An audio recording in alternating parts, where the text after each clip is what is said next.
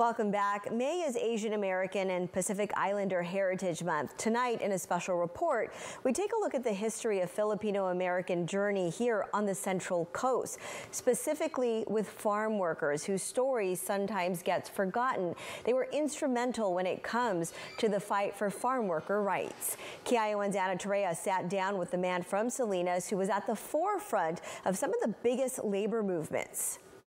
When we think about farm worker activism, we often think of Cesar Chavez or Dolores Huerta, but forgotten in the history are the Filipino farm workers who helped start some of the biggest movements, labor leaders like Larry Itliong and Philip Vera Cruz. The forgottenness of like Filipino farm labor workers kind of comes from like the workspace and also like the mentality of what that generation was coming in. They wanted like a better life for like the next gen. Born in Salinas, Alex Fabros says his grandfather sent him to work in the fields after dropping out of college. One of the fields he worked at our field crew ended up at the Radanovich Ranch, which is south of Delano. Uh, it was hard work.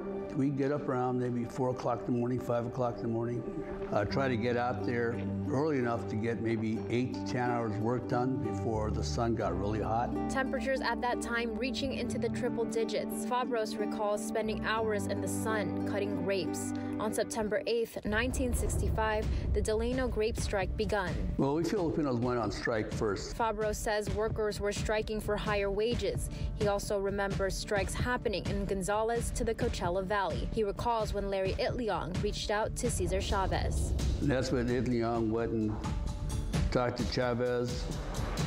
And at the uh, Church of Our Lady of Guadalupe, they, they voted to support us.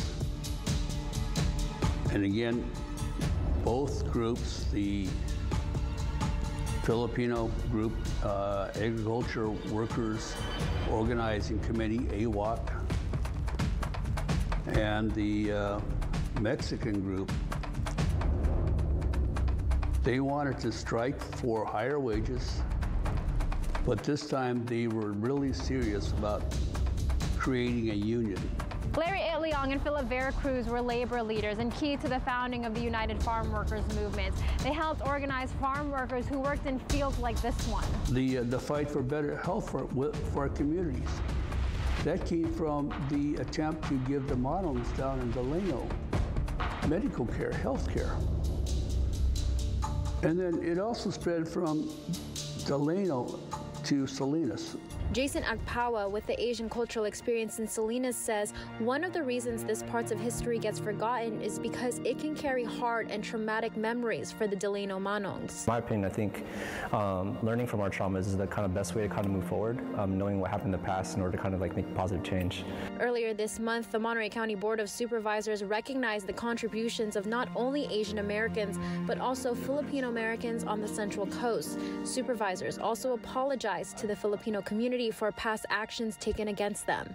Laws that were enacted to make the lives and civil liberties of Filipinos um, um, that violated those rights. It's part of a history that needs to be talked about, says Alex Fabros. That's an important history for America to understand that the Salinas Valley is sometimes known as the salad bowl of the nation.